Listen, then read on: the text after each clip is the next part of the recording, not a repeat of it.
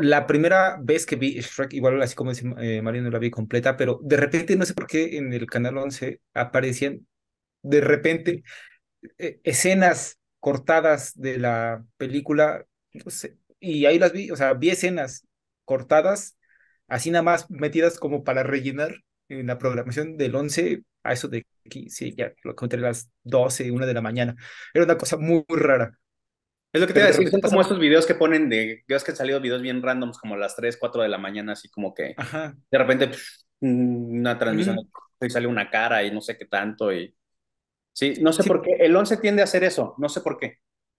Sí, como que ya no saben, o sea, no tienen nada, pero en vez de poner el, sin señal.